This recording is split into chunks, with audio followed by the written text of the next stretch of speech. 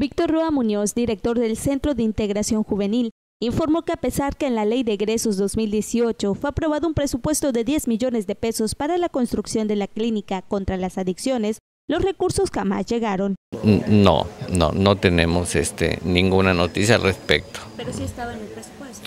Tengo entendido que sí se manejó, se, se, se, se publicó de alguna manera, pero nunca llegó el, el recurso. Indicó que el proyecto de esta unidad especializada se entregó a las autoridades de salud tanto federal como estatal. Incluso recordó que en su momento el comisionado nacional en contra de las adicciones, Manuel Mondragón, se comprometió a gestionar los recursos para esta clínica, sin embargo recalcó que fue una promesa sin cumplir. Roa Muñoz manifestó que a falta de esta unidad especializada, cada año envían a jóvenes con problemas en el consumo de drogas a internarse en otros estados. Cabe mencionar que nosotros enviamos en promedio a 15 pacientes a nuestras unidades de hospitalización. Las más cercanas están en Tuzla Gutiérrez, en Acapulco, en la zona metropolitana de la Ciudad de México, cada año.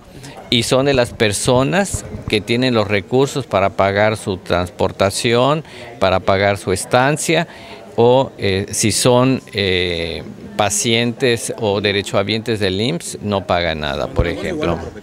Sí, o sea, sí, este, cuando él vino acá, él prometió construir construir este la una clínica de hospitalización y bueno, pues nada más se quedó en promesas. Para la construcción de la clínica en contra de las adicciones se necesitan recursos por 25 millones de pesos. Con imágenes de David Villalobos e información de Francia Lipat, Notivisión.